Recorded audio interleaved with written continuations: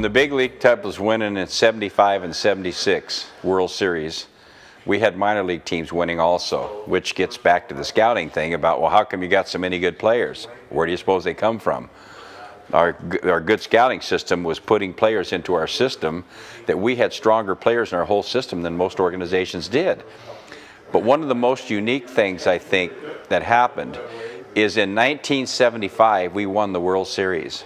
And in our winter meetings, in organizational meetings, Mr. Howsam, which proves how proactive a thinker he is, he said, now that we are world champions, other teams are going to watch everything that we do and try to steal that stuff. And by the time they steal those things, we need to be on another page. So the stuff that worked for us to become world champions in 75 is not the things we'll be doing in 76.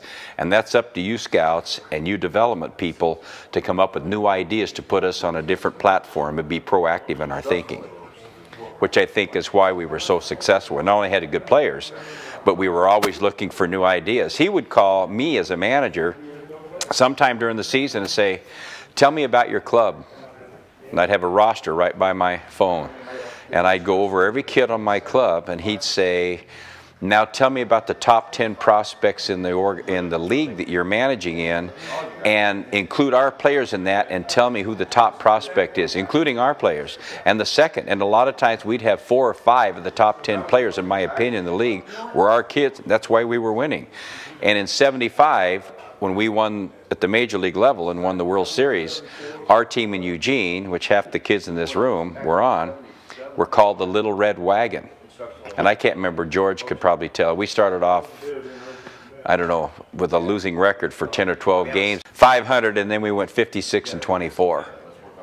But a whole bunch of those kids off that team made it to at least AAA, and several made it to the major leagues. And that was the bottom level.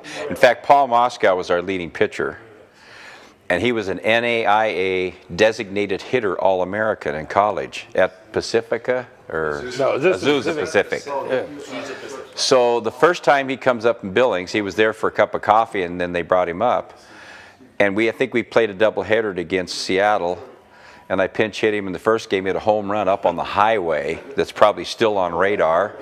And then in the second game, Lynn Jones, who had just come up, he had a home run to win the game. And that was kind of the beginning of when we took off in this this streak that we ran away basically with the league. But it was fun. And when you're doing that stuff, you can have a lot of fun. You can do some things maybe you couldn't normally do. But when you form a chemistry, the reason that we're here today and all these people have shown up is it was the greatest year of my career, barring nothing, barring the major leagues or anything else. It was the greatest year of my career. And it's not because of just the winning, it's the chemistry of the people and they were back celebrating why the Reds were so successful. It was because of the kind of people that they signed. And we didn't sign bad kids. They researched that thing. I mean, you might have been the only exception to the rule, but still.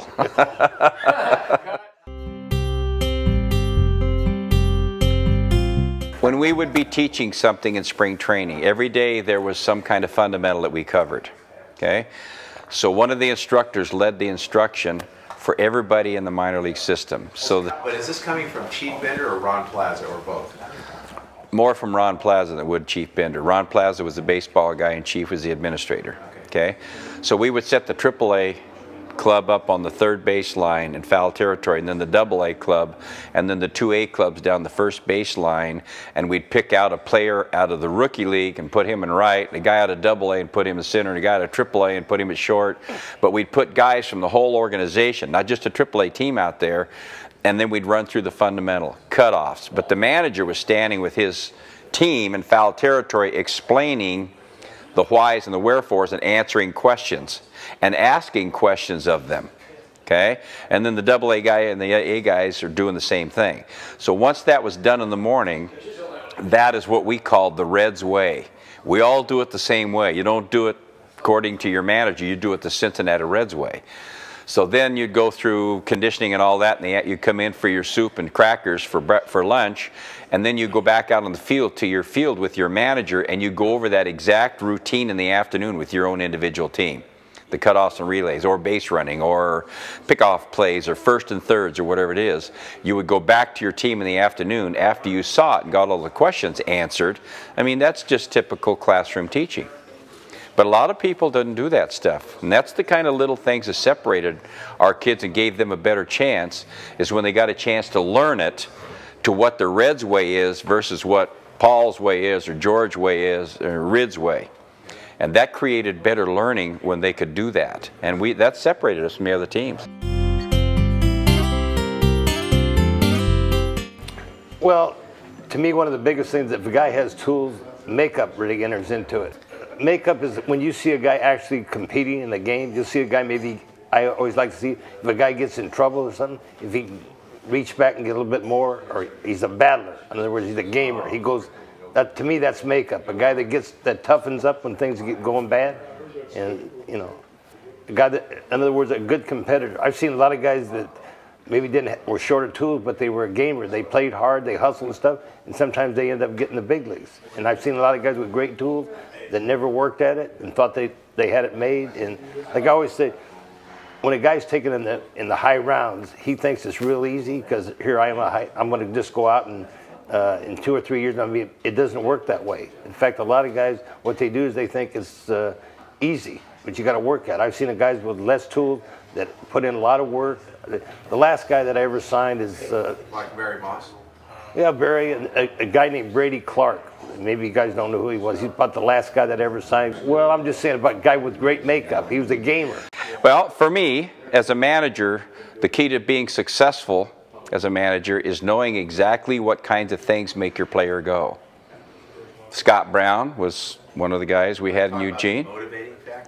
No, they motivate themselves. But I, I need to know what makes him go. I need to know when he needs to be pushed. I need to know sometimes, sometimes you push guys and they fold up the tent, so you can't push this guy because of that part of his personality. And this guy, sometimes you have to jab him in the butt to get him to go, so that's what you do to get him to go.